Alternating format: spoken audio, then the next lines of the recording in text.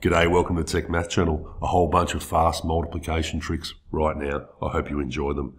So the first trick we're going to have a look at is multiplying by 11. So say for instance, 11 multiplied by 134.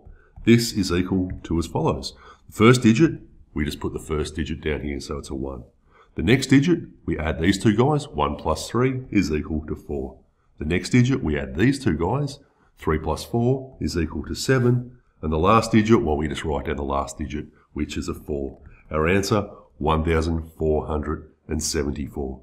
What about another one of those? Okay, what about 11 multiplied by 2,471? Okay, let's go through. First digit is going to be a 2 here. The next digit, we add these two guys together. 2 plus 4 is equal to 6. The next digit, we add these guys. 7 plus 4 is equal to 11. So what we're going to do is we're going to put one of the parts of our 11 down here, but we're going to carry that next one across here. So this 6 is going to become plus 1 equal to a 7. The next digit, 7 plus 1, is equal to 8, and the last digit is the 1 here. So 11 times 2,471 is equal to 27,181. All right, let's get on to the second trick. So the second trick is multiplying by teen numbers, such as 13 times 12. How we do this is as follows. So we're going to look at the end two digits here, okay? And then what we're going to do is we're going to get one of these, a 2 for instance here, and we're going to add it to this 13. So 13 plus 2 is equal to 15. That's the first part of our answer. For the second part of our answer, for the units part here, we are just going to multiply these two digits. So 3 times 2 is equal to 6. So 13 times 12 is equal to 156.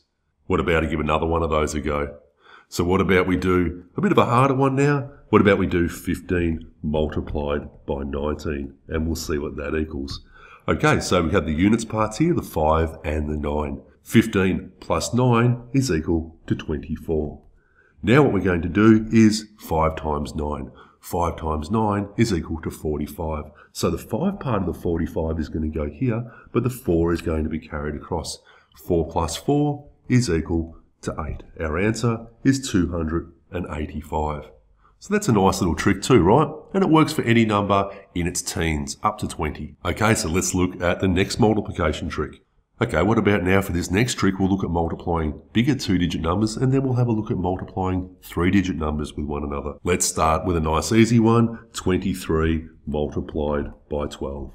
Now, to get the units part of our answer, we're going to look at the units part of our question and we're going to multiply them. So 3 times 2 is equal to 6. To get the next part of our answer, we're going to do a bit of rainbow multiplication and addition. I'll show you what I mean by this. So we get this nice rainbow shape here, okay? We have 3 times 1, which is equal to 3, and 2 times 2, which is equal to 4. And we're going to add those two together. 3 plus 4 is equal to 7. That's the tens part of our answer. And then finally, to get the hundreds part of our answer, we're just going to multiply the tens parts here. So 2 times 1 is equal to 2. Our answer, 276. What about I do a harder one of those? What about we do 14 times 23? I'm not going too hard yet. I'm going to keep these fairly simple today. So let's get the units part first. 4 times 3 is equal to 12. You got this idea. We're going to put the 2 part down and I'm going to put the 1 up here to be carried across. We have 4 times 2, which is equal to 8. And to this, I'm going to add 3. Okay, 1 times 3 is equal to 3. So adding these guys together, we get 11. 11 plus this 1 here, this is going to be 12. I'm going to put the 2 there and carry the 1. Finally, to get the last part of our answer, 1 times 2 is equal to 2 plus this 1 here. Our answer is 322. Hey, that's not too bad, right? What about now we do the bigger ones? So this is how I'd go through now and multiply bigger numbers. Say I had 132 and I wanted to multiply by 214. And I want to do this directly. I don't want to be having a whole string of things here. I want to multiply this guy out directly. Now it's pretty simple and this is the pattern we're going to follow. You're going to see this. We're going to multiply these guys, then these guys, then these guys, then this, and then this. You'll see this pattern as I go along. So first off, 2 times 4 is equal to 8. The next one, we're going to multiply these two guys and we're going to add our results. 3 times 4, which is 12, plus 1 times 2, which is 2. 12 plus 2 is equal to 14. I'm going to put a 1 down there to carry. The next one, I'm going to be doing these guys. I'm going to have this star pattern once again. 1 times 4, 3 times 1, and 2 times 2. 4 times 1 is equal to 4, plus 3, plus 4.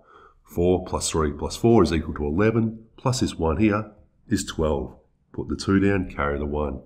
You've probably got this next part. We're going to be going the star now across here, but now we've moved across to the hundreds and tens. 1 times 1 and 3 plus 2. Well, that's 1 plus 6, which is equal to 7, plus this 1 here is equal to 8. And finally, we're just going to multiply the two hundreds ones here. 1 times 2 is equal to 2. Our answer, 28,248. Okay, let's round out this list with a last multiplication trick here. I don't use this next one so much, but it still is a pretty cool trick. Okay, so this is the way this one works. Say, for instance, I wanted to multiply 46 by 44. This trick is pretty specific, and that's why I don't use this one so much. You has to have a couple of things that you fulfill. The tens numbers have to be the same. So in this case, they're both 40 numbers. The units numbers have to add up to 10. Like I said, fairly specific. But pretty cool, right? So anyway, this is the way this one works. To get the first part of our answer, we're going to get this 40 part and we're going to multiply it by the next number after 4, which is a 5. 4 times 5 is equal to 20. To get the second part of our answer, we're just going to multiply the two units parts together. 6 times 4 is equal to 24. 46 times 44 is equal to 2024. What about we give that a go one more time? What about we go 83 multiplied by 87? Okay. As you can see, the tens numbers are the same. They're both 8. So the first part is going to be 9 times 8. 9 eighths are 72.